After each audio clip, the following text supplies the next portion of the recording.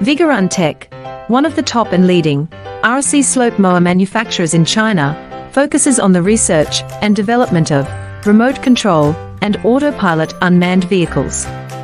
Remote control lawn mower is our current main product, widely used in lawn mowing and weed cutting, suitable for orchard, steep incline, front yard, wasteland, wildfire prevention, house yard and so on. The wireless slope cutter adopts CE and EPA approved gasoline engine, 200 meters long distance remote control, adjustable cutting height, travel speeds up to 6 kilometers per hour.